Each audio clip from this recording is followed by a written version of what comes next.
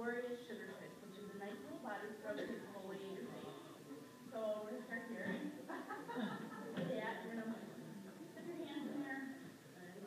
Oh. Can we buy this afterwards? Yes.